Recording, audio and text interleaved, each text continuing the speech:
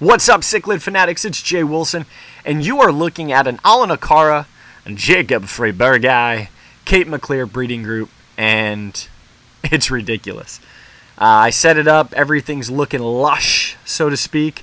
The male's got a little issue with his right eye that was caused by me trying to get him out of a tank with a net. He nicked himself on a piece of plastic tubing that was attached to the sponge filters. Crap. But the male is definitely epic. And little couple tidbits about these guys. They're one of the very few cave dwelling peacocks in Lake Malawi. And um, I think the coolest thing about them is they listen in the sand. So if, if you're watching these fish, they'll kind of kind of hang out by their cave down by the sand. And then when they hear using their sonar pits in the front of their face, they go crazy and they attack the sand and sift through it and get their food. So maybe these are the new uh, carnivore fish, uh, predator peacocks. I'm kidding. I'm making that up. I'm, I'm being facetious. But, um, you know, the more and more I talk about it, um, Lake Malawi is a wonderful lake. It's beautiful, and I think it's time that I move on to another lake. I'm peacocked and happed out. Um, they're beautiful fish. I still recommend them for folks when they're first getting into the hobby with African cichlids. Uh, but it seems eh, there's just so many out there, and I want to do stuff that's that's different, you know, and, and you want to do something that, that you're into. And so I always recommend you do what you do because you enjoy it don't do it because everybody else is doing it. And so I'm pretty sure this is going to be my last species only Lake Malawi tank.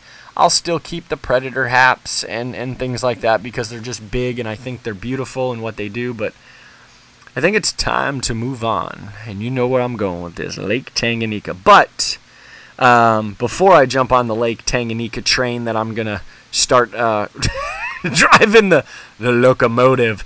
Um, I'm really excited with this breeding group. One is because I haven't bred fish since the Lithobae accident that I had a long time ago when my heater just stayed on and I was still learning and it, it, it just got too hot. But so anyways, uh, really cool setup that I got going on here. I just threw rocks in the center. I got the cave for the bad boy on the right hand side. It's made of two rocks and I, I threw a rock on top. Yes, everything's from Universal Rocks, makes it easier, but this tank's a 60 by 20 by 20 if I did not say that already. It's 100 gallons and it does really well for these guys. I think I've got a couple extra males in there, uh, but that dominant male right there is, uh, yeah, he is a he's a masterpiece. And I, I couldn't expect anything less from Southeast Cichlids. I mean, when I reached out to Butch and said, hey, look, I think I want to breed peacocks one more time. What should I do? And he said, hey, uh, let's get you some cool Cape Maclear and we'll see how it goes. And it's going really well. I'm enjoying them. Um, and once I've kind of run the course, then uh, we'll figure out what's what's going to happen. But some really neat things that are that are spurring up here on the channel. I've got Wednesday sub up of the week, so if you're interested and you'd like to be a part of that, it's every Wednesday. I'm a few Wednesdays out. And it doesn't matter how many subscribers you have. It doesn't matter if you think you're popular or if you're not popular. Uh, honestly, it's up to you. If you want to be a part of it, great. And if you don't, then you don't. Um, it's just a way to get people to know more fish keepers in the hobby uh, because YouTube is saturated with with fish keepers, let alone African cichlid keepers. It's it's just saturated.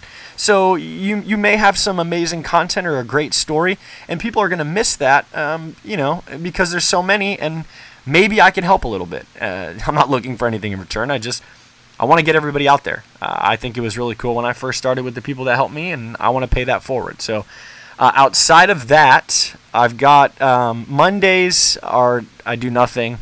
Tuesdays I do nothing. Wednesdays sub up of the week. Thursday nothing. Friday I've got, you know, it's either going to be a video like this, it'll be a live video. It's kind of that fun day. Maybe I'll blow up some aquariums. I don't know. I have no idea. But then Sundays are kind of the bread and butter. They're the ones that I really focus in on showcasing something or bringing a lot more education. So uh, those are my staple, but honestly, anything can change.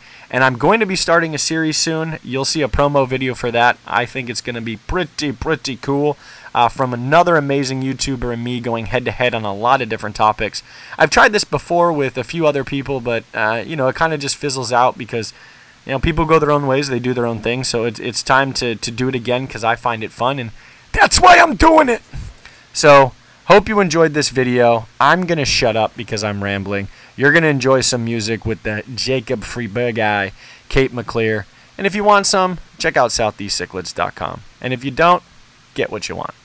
Folks, thank you so much for watching, liking, sharing, tweeting, retweeting, double tapping, following, liking, subscribing, hitting the bell. That's what makes these these channels relevant. I greatly appreciate that. And remember, do something nice for somebody. And it doesn't mean just give them money or anything like that. It's maybe tell them their hair looks good or uh, the shirt that they're wearing compliments them. And it's not just men to women or women to men, it's to anyone. If somebody looks like they're frowning, try to make them smile. You'll be a better person for it. They'll feel better and probably do it in return. And that's what makes this world a better place. And that's why I enjoy fish keeping because it makes the world, in my mind, a better place.